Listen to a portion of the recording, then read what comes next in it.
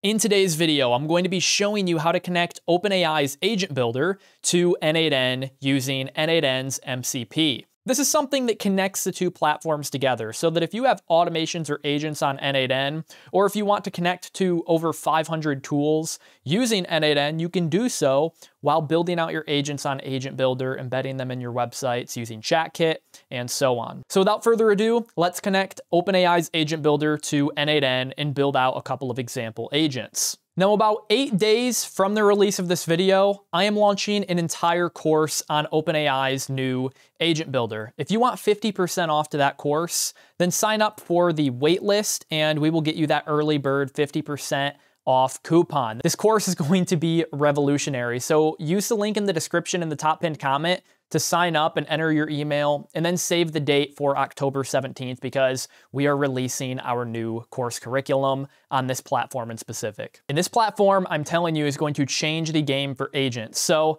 let's connect it to N8N real quick. I'm going to open up the agent builder and here you can create a workflow just like you can in any other automation tool. I'll select create and then it's going to open up our canvas and there's a couple of different ways that you can contact a workflow uh, from N8N or that you can contact your N8N server. The main thing that you want to understand is that we're going to be doing this by invoking a model context protocol tool. And so if I just select this node out here, we won't be using this node in specific for my first example, but what this allows you to do is in the upper right hand corner, when you're selected on that node, you can select the add button and then you can add your own server. And here we can connect to N8N via N8N's MCP tool. And it will allow us to run our workflows from the agent builder. It will give us access to well over 500 tools that N8N gives you access to. So it connects these two agent building softwares with each other. If you're not familiar with N8N, it is a tool that's been around since 2019 and people have been building agents like this on it for a long time. So if I sign into my account, what you're going to notice is I've got loads of agents in here. I've been building agents in here for a long time. So if I click into here, you can see that we have little workflows in here. This one gets a YouTube transcript for me. And that's the example that we're going to be showing you today. But this is N8N if you weren't familiar with it. You can access a bunch of different tools. If I select action in an app, as you can see, they have all of these different tools that you can connect to out of the box. And so we can use this functionality in Agent Builder, and we do that by adding an MCP server. So first, what I'm going to do is I'm going to delete that node out of my canvas, and we're just going to start in the AI agent node. So I'll click into the AI agent node, and then I can give this agent a name. Since we're going to be pulling in YouTube transcripts from this N8N workflow, I'm just going to call this YouTube transcript agent because I want it to use N8N to help me receive those transcripts. And next I can give some instructions. So I can open up that prompt box and I can just say, you are a YouTube transcript agent. You will receive YouTube video URLs from the user, and your job is to use the N8N MCP tool, which is what we will label it in the future, and send the URL in order to receive the transcript. So over here on N8N, I'll actually just save this, and we'll come back to this later. I just want to show you the N8N side of things. So on N8N, I have this workflow that gets video details and gets YouTube transcripts all from a URL. And so in order to connect to N8N, what you wanna do is in the upper right-hand corner, you wanna hit create workflow, and then you want to add a first step. This first step is going to be the MCP trigger tool. So I'll type in MCP. As you can see, you get to expose N8N tools as an MCP server endpoint, which is going to allow us to connect it to Agent Builder. So I'll select that node right there. I will change the path real quick. You can call it really anything you want. I'll just call it N8N underscore tool. I won't do authentication right now. First, I want to click out of this MCP server trigger, and then I want to add some tools. So these are the tools that you can give Agent Builder access to. As you can see, I can call an N8N workflow, an entirely new N8N workflow. It could be as big as you'd like. You can call that from Agent Builder. Your tools are the things that Agent Builder is going to be able to use. You're just hosting them on N8N because of N8N's uh, robust amount of automations and agents and apps they provide you. I'll show you a quick example with just calling my other N8N workflow. So if I select call N8N workflow tool, I'll just name this like get underscore transcript, and then I will give it a description of call this tool to get a YouTube transcript from a YouTube video URL. And so now it knows what to do. You can just give a natural language description.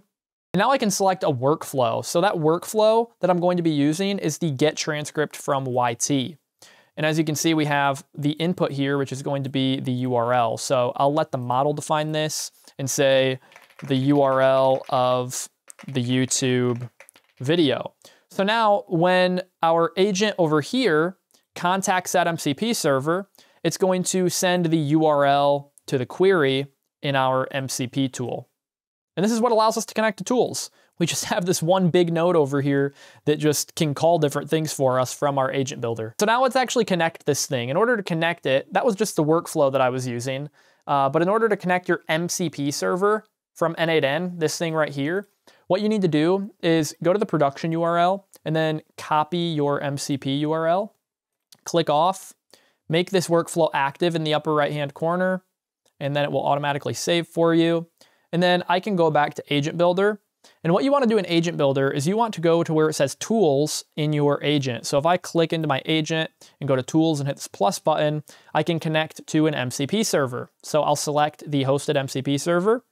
And then I'm going to add one. Since OpenAI doesn't add it out of the gate, what I can do is I can add a server. And then I can paste in that URL that we copied, that URL from our MCP server trigger right here, except make sure you copy the production URL since we have an active workflow. And then I will just label this whatever I labeled my tool and my instructions. So I labeled it, as you can see over in the upper right-hand corner, N8N underscore MCP underscore tool. That's not completely necessary. I just like keeping all of my tools in line when building agents. And then you can give it a description. This is just optional. Call this to get YouTube transcripts. For authentication, this is where you could add in your key that you set up in N8N or your custom header that you set up in N8N in order to have it be a little bit more secure. Pretty simple to do. For now, I'll hit none since I'm going to delete this. And then I'm going to select connect. And then it's going to establish that connection with our tool over on N8N. And this is going to give us access to everything um, that we connect to it. So as you can see right now, all we have is the get underscore transcript tool over on Agent Builder because that's all we have right here is our get underscore transcript tool. So now let's test this agent. I'm going to go down and try to find something that AI wouldn't know out of the gate, just something that I said in the video. Maybe the real reason AI feels threatening, it's not job loss. Let's grab this YouTube video URL. And then over here, since we have this all set up with the instructions, our MCP tool, what I'll do is I'll hit preview and I'll just say, give me the summary of this video transcript and key points. And then I'll paste in that URL and send it off. And then it will be running for us. And as you can see, since I made it approve every time, I have to approve this request in the chat. You could set it to, it doesn't have to approve, but it's a little less secure that way. So I'll approve this to contact my N8N workflow. And if I go to N8N and go to my executions, it says no executions found right now on my MCP server trigger, but that's because I haven't approved it yet. So when I approve it, what's going to happen is it's going to actually use my MCP and if I go back here, an execution should start any second now. I'm going to give the page a refresh. As you can see, that execution succeeded. It went down, got my transcript. If I click into this right here, I can view the sub execution and I can watch how it passed that video URL through. So the automation ran, succeeded in 2.9 seconds, very fast. And so if we go back to Agent Builder, it gives me the summary. And the only way it got the summary is because it had to get the transcript from my N8N workflow. It says this video argues that the anxiety people feel about AI isn't mainly about job loss, it's about a threatened self-image tied to a specific role. And then it goes over my core ideas, gives away my entire worksheet for identity reinvention, and then my four-week plan. So that was just showing you how to connect to one tool, but you can literally connect to any tool you want. I'll close the preview. I'll go back to N8N. If I hit this plus button, I could type in Google. I could add a Google Calendar tool. I could let the model define start. I could let the model define end. I could add a field for summary, and I could let the model define that. This will be the name of the event. Let's say I want my agent to be able to contact my N8N MCP server and create events in my calendar. I could select my calendar and then save. I could go back to the agent builder, make a couple of new instructions. I can say, you also can add events for me. Then I can say, all you need is start date, end date, and name of event. And then I can save that. I could go to my MCP tool and then we could give it access to create an event in Google Calendar because since we added that tool, it'll update live. Any tool that we add in here, any app that we want to make a change in using our agent builder, we'll have to go back and we'll actually have to select this little check mark in order to make it active. And so I can update that. And now if I preview, not only can I paste in video URLs and get transcripts and summaries from them, but I could say things like, create me an event for tomorrow at 6 p.m. for a three mile run. I'll send that off.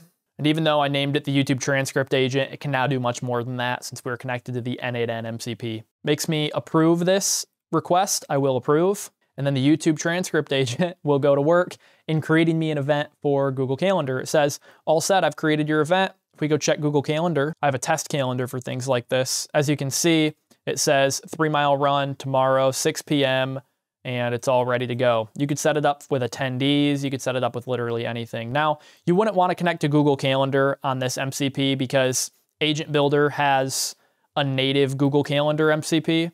So if I just throw this in real quick, you can add Google Calendar right in here, and it probably makes it easier and better rather than having to go through another application to get to that. So don't add tools in N8N that you can easily use here. But what I like doing is I like using full workflows in N8N like I did for the get transcript because I've got full agents or workflows in N8N that I've been using that I would like this agent to have access to, even if it uses it as a tool, just to get a little bit of information to send back to it. For instance, I have this sponsorship responder so that if a sponsorship comes in for my channel, I have a whole filtration system that it goes through, searches the company, enriches the company. I built this on N8N, and let's just say I wanted to connect it to my Agent Builder. Well, I could do so with my N8N MCP tool. And keep in mind, you can use any of these tools. If you have a Notion account, for instance, you can select this Notion tool and do all sorts of things. You can create pages, you can create databases, search your databases, you can do whatever you'd like.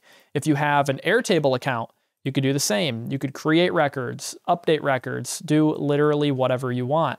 You could connect your email to this. You could connect literally anything under the sun, especially with N8N. Now, Agent Builder has a lot of out of the box things, like I said, with their MCP, but N8N allows you to expand the reach and tools you have access to.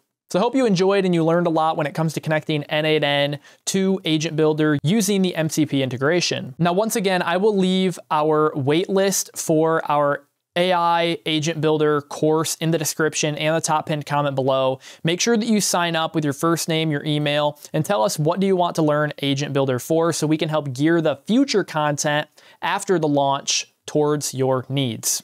We're going to teach you how to build the agents, how to deploy the agents, how to optimize the agents using all of OpenAI's agent building features. You are going to be learning from myself and my brother who have been making successful course curriculums for years now. And furthermore, it's going to give you the ability to get certified and get a signed document from both Carter and I, who are well-known names in the agent building space. So make sure you go sign up to get that 50% off. It's the only time we're going to do that. And I hope to see you on the list. If you enjoyed this video, please drop a like and subscribe. I would highly appreciate it. Hit the bell notification so you never miss an upcoming upload. And with that being said, I will see you in the next video.